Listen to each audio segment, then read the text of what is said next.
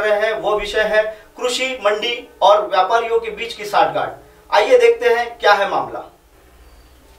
राजस्व की चोरी कर रहे हैं व्यापारी और कृषि उपज जाँच नाका कर्मचारियों की साठगांठ होने की बात सामने आई हुई है।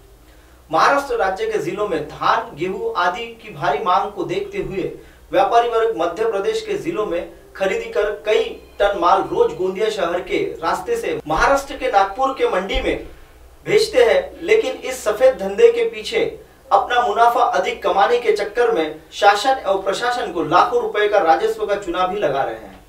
गोंदिया शहर के व्यापारी जो मध्य प्रदेश के ग्रामीण इलाकों में किसानों से भारी मात्रा में धान, गेहूँ, चावल, महुआ, लखोड़ी, सोयाबीन आदि फ़सलों की खरीदी करते हैं और इन्हें नागपुर की मंडी में भेजते हैं, जहाँ दलालों के माध्यम से बड़े शहर तक इस व्यापार को करते हैं।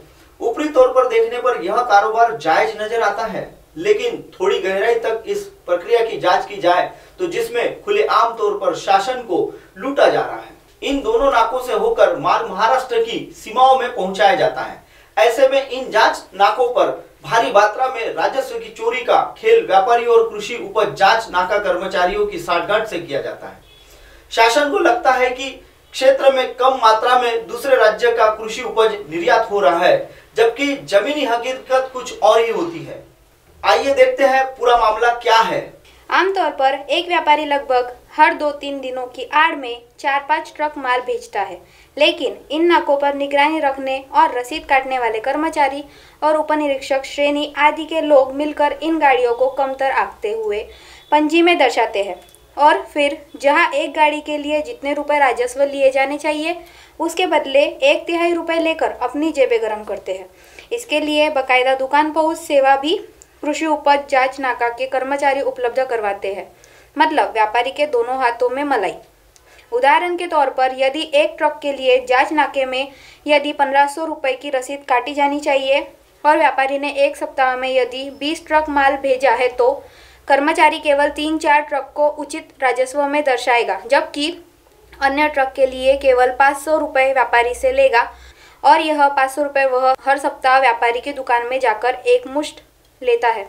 अधिकारियों की आँखों में धूल झोंक कर या बड़ी साठगांठ। इस बात को लेकर अधिकारी की आँखों में धूल झोंक रहे हैं या उनकी भी कोई साठगांठ है, वह कहा नहीं जा सकता है।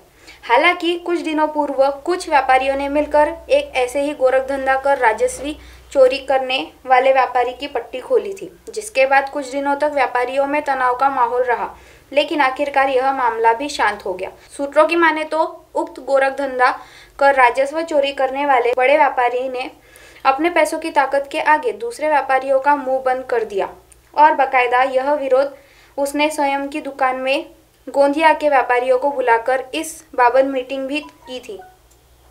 इस बाबत मीटिंग भी की थी, जिसके बाद अन्य व्यापारियों को भी उक्त मंडी जाँच कर्मचारियों के सहयोग की बात खुले तौर पर सामने आ रही है। हालाँकि जल्द ही इस बात को लेकर व्यापारियों के नाम व भ्रष्ट कर्मचारियों के नाम सबूत के साथ उजागर होने की प्रबल संभावनाएँ सूत्रों के हवाले से आ रही है। कुछ इस तरह व्यापारी और कृषि उपज जाँच नाका कर्मचारी लाखों का राजस्व चोरी कर रहे हैं। पूरे मामले में अधिकारियों की उदासीनता के चलते नाके के कर्मचारियों का गोरख धंधा बड़े जोरों शोरों से चल रहा है। इस पूरे मामले पर गहनता से जाँच कर रहे हैं। आने वाले सप्ताह देखेंगे आप मेरे साथ व्यापारियों की और जाँच कर्मचारियों के बीच के रिश्ते का क्या है राज। एमएनएस न्यूज़ लाइव की खबरें देखने के लिए प्ले स्टोर से आज ही एमएनएस हिंदी ऐप डाउनलोड कीजिए और हमारे चैनल को सब्सक्राइब भी कीजिए। दर्शकों, तब तक नमस्कार।